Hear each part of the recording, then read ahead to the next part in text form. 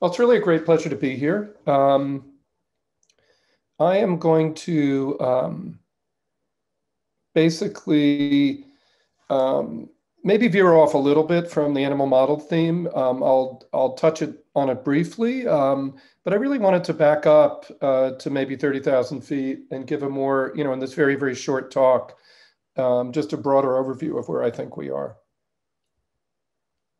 So we're in the midst of a genetics revolution. This is across many disorders.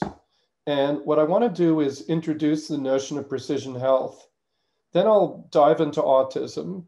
We'll discuss what genes have been identified and how we move from individual genes to biological understanding and treatment and just provide a kind of framework.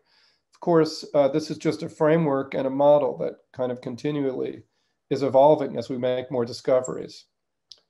Um, let me also make another point is that, you know, um, because we study genetics does not mean that we are uh, um, have blinders on to environmental issues and other things. In fact, every disorder uh, that humans have, other than very, very, you know, the rare Mendelian uh, single gene disorders, but even those can be modified by environment. So the, you know, I talk about genetics because it provides a clear starting anchor for causality that's tractable and is proved in, in many other disorders outside of the brain, cancer, immune disorders, et cetera, to be extraordinary in terms of therapeutic development and has provided the clearest road in that direction.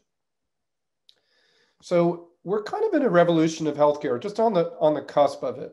Medicine today, we treat everybody kind of the same. Um, uh, you know, you come in, you get the top blood pressure medicine or diabetes drug or whatever your doctor prescribes. But uh, we know that there are tons of individual differences. Um, and uh, the notion of precision health is really predictive, preventive, patient centric model of care where one tries to get use as much individual information from a patient as possible to drive these things. And there are two major drivers of this of this, uh, you know, I'll call it um, um, movement. One is dramatically decreasing DNA sequencing costs, costs that alter approach to human disease at the same time as computer power increases. What's shown here in green is Moore's law. That is that integrated circuits will have twice the density every 18 months of transistors on them by Gordon Moore predicted this is uh, you know in the I think it was in the 60s, and and as it as it turns out, that's an exponential curve because it's a log scale. And if you look at the red, that's the cost of getting genetic information. And it's dropped precipitously since the mid 2000s, more, more rapid than this exponential because of changes in technology that have been transformative. Now we can do a whole exome sequencing, which, is sequencing of your protein coding genes for on the order of about $250. The second piece of this is computer power increasing, and that's been transformational. Without both of these coupled, um, we really couldn't take advantage of the genomic information. The computational and bioinformatic changes have been essential to this. Another piece of this is also the ability to capture and to store and to analyze your other types of information, such as you know, exercise, you know, mobile health kind of information, exercise, diet, et cetera. And that feeds into this clearly as well. So as a result, millions of genomes have, have, been sequenced and we now have the power to analyze them. So we're at the beginning of what will be an explosion of genetic discoveries across populations, more genomes being sequenced. And the more that are sequenced, believe it or not, the more we know about the community, the more we understand about the individual, because we can look at what sequences uh, separate certain individuals from another. It will allow us to identify new drug targets. It already has multiple prevention, diagnosis, prognosis, and optimizing treatment. And so it, of course, this has been most successful in cancer, but even in rare disorders, a, a variety from brain disorders to cardiac and immunologic disorders, it already has led to uh, vast changes in our treatment. So this is paralleled and led to a rapid growth in autism genetics. This is from a, a review by Thomas Bourgeron. Um, and you know, and you can basically see that there's been this exponential rise in the last 15 years that corresponds with the accessibility of technology. And this is from a review that Brett Abrahams and I wrote that um, in 2008, um, about uh, you know almost, you know eight years before this review, that really talked about how things have been moving along in terms of the technology. And you can see there it was microarrays, whole exome sequencing, whole genome, and we were you know, you know, really showing how this is leading to a huge change. In 2008, you can see we're at the cusp of that beginning with Neurexin and Shanks and CNTNAP2 mutations. But, uh, you know, subsequent to that, there have been hundreds of genes identified. I'm sure Joe Buxbaum will talk more about that. I'm just going to mention a few key facts here. One is that um, if we're looking here, we're looking at the rate of, uh, of, of uh, rare mutations. And these are a kind of mutation called de novo mutations. They're not inherited, they're like Down syndrome in terms of how they're actually. And what one can see is that kind of the larger um, of these, you, you know, if you look at patient outcomes on the bottom, that the more of either delayed walking, seizures, intellectual disability you have, in other words, if you have all of those three, the likelihood of you having one of those rare mutations is 15 odds. You have a 15 fold increase over somebody who has autism but doesn't have them. So, in other words, a lot of the mutations are pleiotropic. They cause um, kind of more broad um, effects than just what we see as autism. And the other point is that they also um, are, are part of a continuum of risk that can affect cognition in some people, can lead to increase in schizophrenia and other disorders. In other words, what we call in genetics pleiotropy, that is that these mutations aren't specific to autism. They have large effects on brain development and therefore can cause a lot of different syndromes. And so just to kind of show the difference between 2008 when we were at the beginning of that cusp, a handful of genes, little understanding of mechanism, major pharmaceutical companies withdrawing from CNS work and little interest in autism. By 2016, this is the citing a 2013 paper, but even five or six years later, there were hundreds of candidate genes, clear mechanistic models, um, evidence for overlap and cross disorder overlap, and major drug development efforts in, on, in autism ongoing. And again, the point I want to make is that um, there aren't these genes cause a, usually uh, they cause major medical genetic impact that doesn't just affect social cognition and repetitive behavior, but often leads to motor dysfunction and other associated um, um, uh, physical issues. And, uh, you know, in many cases, not in all. So the genetics has really transformed the landscape by beginning to give us a picture of the fact that about 20% of autism is a collection of rare disorders, ranging from Fragile X to individual gene mutations, none of which really account for more than 1%. It's very heterogeneous. And those are going to account for about 10 or 20% of autism. Then there's common inherited variation. That is stuff that we all inherit that is going to be contributing and unaccounted for. We don't know. And so what this means is that still about 40% we don't have a handle on. A lot of this might be rare inherited variation, and some of it is just, um, you know, maybe gene-gene interactions, gene environment, and other things that are very difficult to measure at this point. So where we are is many genes are going to contribute to autism, maybe over a thousand highly additive effects in many cases. So you might have common variation plus these rare mutations or a, or a lot of common variation. None account for about more than 1% of cases. Again, this notion of a collection of rare disorders and strong pleiotropy. Pleiotropy meaning that a mutation can cause autism, let's say, in one individual, and it might lead to intellectual disability and, and epilepsy in another, or even a rare form of schizophrenia in a third. But the challenge is that these advances in genetics and genomics have proven their promise. They've identified many genes involved in susceptibility. These genes provide targets for mechanistic understanding and therapeutic development, as you hear. However, they highlight extreme genetic heterogeneity. Will we have to develop a specific treatment for each disorder, or will there be convergence in specific biological pathways, developmental stages, or processes, um, or brain circuitry? And you know, and just to kind of show this really quickly in a kind of cartoon that I wrote now a decade ago, it's, it, it's just showing here's at the time some major mutations that were known uh, that cause um, um, developmental disorders that um, increase the risk for autism, duplication 15q through Timothy syndrome at the bottom.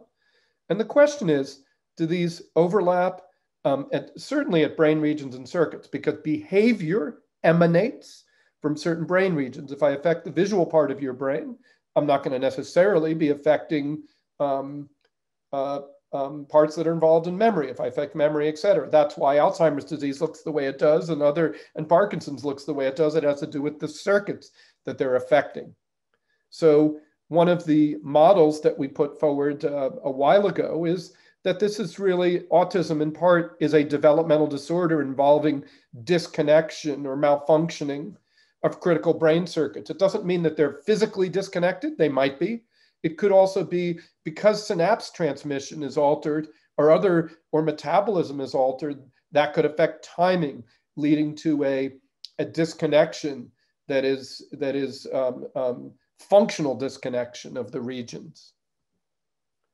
So at some level, autism has to converge in various brain circuits involved in social cognition and repetitive restrictive behavior, and in many cases, language. But the question is, from a therapeutic standpoint, is it converging in molecular pathways? Is it converging in biological processes, such as abnormalities in patterning, et cetera? That is, is very unlikely, I'm just going to state, because even single mutations like TSC or 22q dup or others affect multiple of these biological functions because they, again, can affect, they affect multiple stages of development. So, but there are questions about, you know, even if there isn't huge convergence on biological pathways, they still may be treatment targets. Don't get me wrong. So, questions that are now being asked have to do with the fact is there convergence? Or can I, if I have 200 genes and 200 different patients, do I have to come up with 200 different therapies? Think about it like cancer, where now people are getting treatments based upon their mutations. And about six or 7% of patients with cancer now will get a sequencing done that gives them a specific targeted therapy. But prior to that, we used, let's say, therapies that targeted processes like proliferation or invasion of tissues. And we try to block that broadly. And so there are many different places that we could potentially intervene. So we ask the question when and where do autism genes act? Right? The first, you know, question is if we identify them, are they affecting certain cells or, you know, development, et cetera? And it's pretty clear now that there is convergence in prenatal development. Some are slightly postnatal, but almost all of the genes begin to be expressed at mid gestation during the period of neurogenesis, neuronal migration, and corticogenesis. And what we showed in this paper now almost 10 years ago is that two major processes at that time, when only a handful of genes were really known for sure, and there were maybe a hundred or so that were ha, had lower levels of evidence, that early transcriptional regulation, that is things that turn genes on and off, as well as synaptic development. And where these things crossed was kind of around mid gestation, around 16 to 20 weeks. And so again, we're seeing expression of these genes early during neurogenesis, early cortical development. When we asked what kinds of cells they affected, they affected a broad range. But if we asked, is there one that's affected more than others? It was the superficial neuronal projection cells, neurons that project between cortical regions and across the hemispheres. So things that connect the brain and connect. And as it turns out, um, that kind of fits with this notion of disconnection and, a, and a, almost two decades now of neuroimaging showing long range disconnection in autism. We've subsequently, and so have others, validated this in numerous studies. In fact, the new work validates this and expands it by identifying new genes and some additional pathways. Some work we did uh, recently showed um, also involvement of vesicle transport and micro, you know, and cytoskeletal microtubule processes. But these are again related to synaptic transmission, um, you know, in the end. So at one level, the you know genes seem to converge in certain processes. So uh, you know maybe there is some some possibility of intervening. One of the problems is you know when uh, we don't know that yet, and um, but there are studies in animal models, again in animal models with single gene mutations that show at least partial reversal of the abnormal behavioral or cognitive phenotypes in those like Rett syndrome or tuberous sclerosis by treating them in the adult. So we do have hope based on animal models that we may be able to, even though this is happening early, there might be some reversal later. We can also look at the brain. And one of the amazing things about, uh, you know, about psychiatric diseases, and it's vexing in an amazing way, is that unlike neurologic disorders, there isn't any obvious gross pathology. In other words, we don't see a particular region affected. We don't see a protein being deposited or cells dying. There's no even microscopic pathology.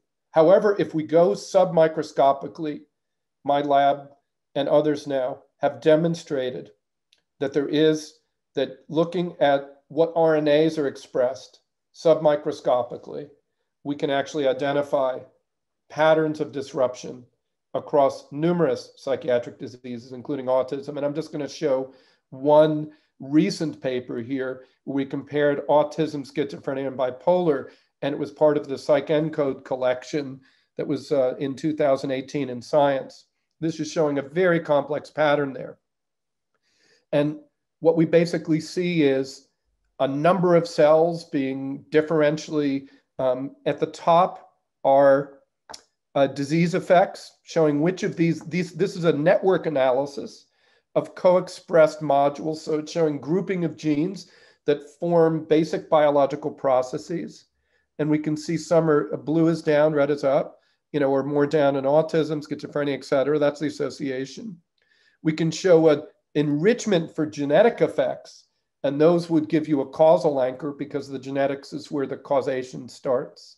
Some of the other changes may be contributory or reactive, et cetera, because uh, somebody's had autism for a while and, we, and the brains are profiled after that. We can also look at various patterns of cell type enrichment. And so we see when we start to dig down into that below is that we see modules that are downregulated processes in very specific cell types in autism and not as much in bipolar or schizophrenia. We see some that are specific to schizophrenia and bipolar, et cetera. So this kind of work has allowed us to refine what are the specific molecular processes that are present in the brain of somebody with this condition and shared by more than two thirds of them, some of these shown below. And the question is then, um, can we target these? How do these connect in the individual to the specific genetic causes. So that's the work that really has to be done now, connecting these dots. But we do have these patterns, these transcriptome patterns of dysregulation that differentiate these various conditions from control neurotypical brain across the lifespan. We've also, because of the genetics, hit biological processes. Again, Here's the mTOR pathway. There's the balance of excitation and inhibition, um, cortical columnar development, again, connectivity. Are these things that we can also target in certain patients? And specific molecular pathways, again, activity dependent protein synthesis, neuronal activity, neuronal cell adhesion. So our job now is to put these kind of known pathways on top of and integrate them with the things that look like they're dysregulated in postmortem brain that I showed you on the previous slide. And that's an ongoing process. But once we have those pathways and patterns, how do we develop therapeutics? Now, a lot has been done in mouse, and we've worked in mouse quite a bit.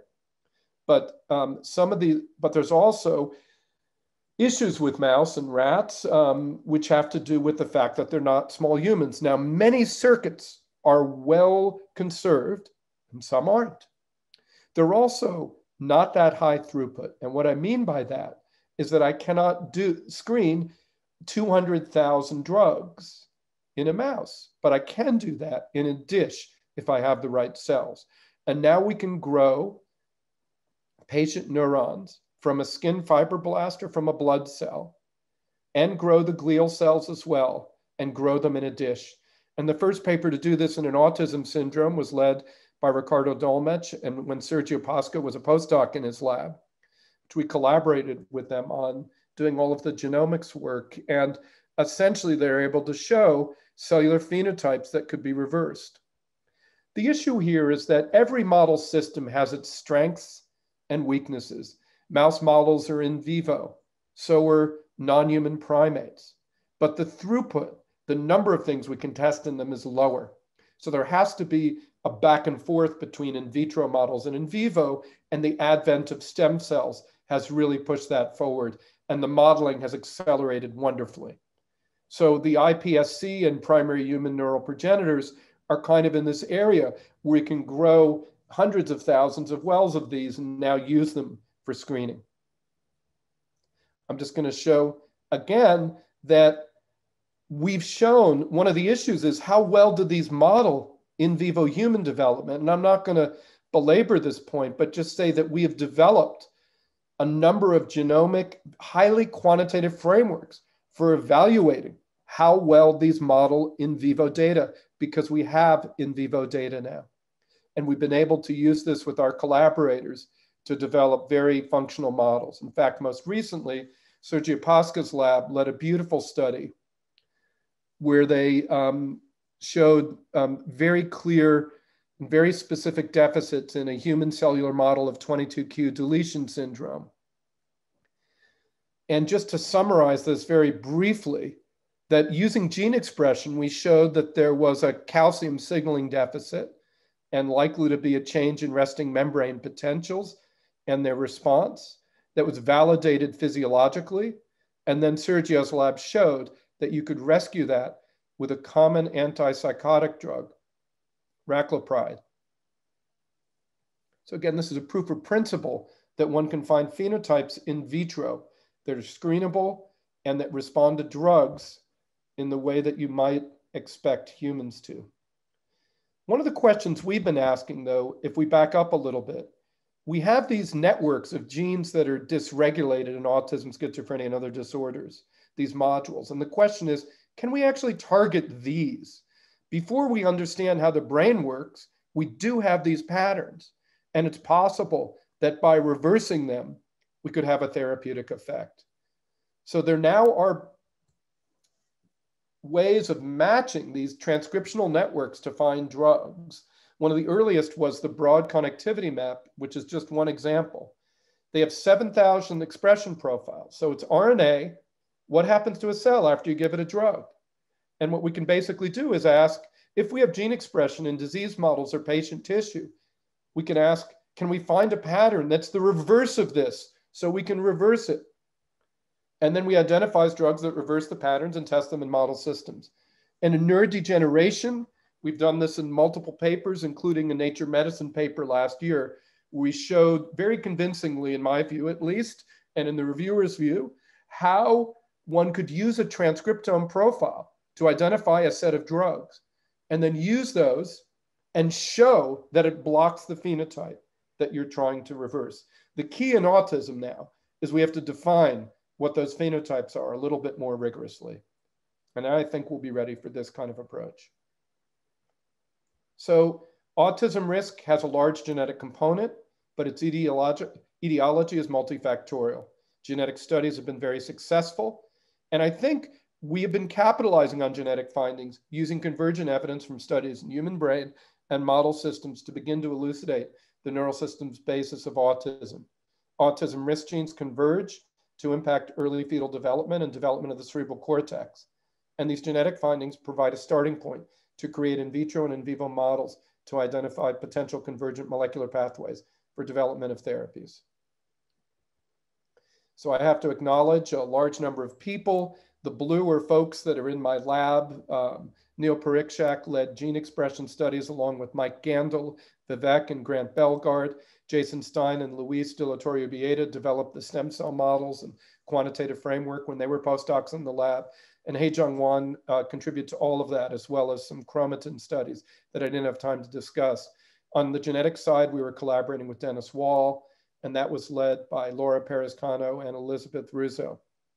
Um, we, a lot of what we're doing now is involved in creating maps of brain gene expression with the PsychENCODE project, and um, these kind of collaborative efforts are really essential. Thanks for your attention. And thank you, Dan, for, for a wonderful presentation. Um, maybe we, we have time for a couple of questions before our break in, in a few minutes. Um, so I'll start with uh, this this notion that that you mentioned that a doesn't appear to be any structural damage that at least is consistently found in the autistic brain. I, I think this to me is is a good sign, right? Because you know if you compare it to something like neurodegeneration or multiple sclerosis, where you see lesions or actual cell death, that to me seems like a higher bar to, to overcome. But so getting to those regions that are then affected in the, the autistic brain. So your approach of looking at the molecular underpinnings that may change physiology or biology in that particular region, how can therapeutics do better for autism than we have for cancer? Right. So as you mentioned, you know, well, it's actually, I mean, yeah. Yeah, I would so, say that, how do we not get those off-target effects that, that we well, would for for? Let me flip that around a little bit. You know, cancer it's not perfect, but there are drugs that even, you know, and radiation that 20, 30 years ago uh, worked in a lot of cancer. So it would be nice in autism to have the equivalent of those. Of course, you know, you don't want them to be toxic, of course, because you're, you know, but what I'm saying is that having these general, you know, wasn't so, you know, it's not the optimal, but it's not bad. Um, but I think now about six or 7% of cancers in the last five or six years, we can now identify BRAF mutations and other things and have very specific uh, targets for them. So I think cancer, again, is about a decade ahead of neuroscience. And um, that's how it's always been uh, since I started training in the 80s. And um, so I think we're moving in that direction where one will take individual mutations and find drugs that reverse those phenotypes and then see if um, how broad the effects are of those of you know of those drugs how many how many different uh, things might be affected. But again, there may be other commonalities and other ways to modulate things in the meantime as we're moving in that direction. So, so I'm, I'm pretty optimistic about that actually. Um, um, and I, yeah, so I, there were a couple questions that I got on the on the app that I could answer really quickly, just so I get to them. So, what causes high rate of de novo mutations? One thing is the father's age other things unknown. Um, but there is a there is a kind of background rate of de novo mutations, and a lot of it has to do with the fact that our our mismatch repair processes are not perfect. And as we get older, just like when you sprain your ankle when you're uh, 14, it fixes itself faster than it does when you're uh, 60. So, um, but it has to do with DNA repair not being perfect, and that's uh, kind of similar in some ways to some cancer mechanisms. Um, so Somebody asked a very good question. There's so many labs out there doing whole genome sequencing with widely disparate pricing. Not only highly disparate pricing, but highly disparate quality. Mm-hmm. I suggest that if you're going to get sequencing done, you do it in an academic medical center where it's interpreted by experts and you actually get the, you know, the kind of state of the art interpretation. So like at UCLA, for about eight or nine years, we've been doing exome sequencing and now we move on to whole genome where we have a whole data board that meets and goes over these things in a very academic and careful way. What we can, you know, uh, that's something that a commercial lab just can never do, and you know, it doesn't do. Um, somebody asked about sex approaches. That's really essential, and Um, in a much longer talk, I could talk about that. In fact, we've been able to use these patterns at the systems biology level to ask very pointed questions about where the sex effects are likely to occur. And what we find so far is that it's not the actual genetic risk that's sex differential, it's actually specific aspects of the neurons and glia in neurotypical development and in brain that differ between males and females with which the genetic risk is likely interacting. And that's a story for another day, but some of that's been published. And again, if you send me an email or something, I can refer you to some of that studies, although I'd have to say it's in very early days and much more needs to be done.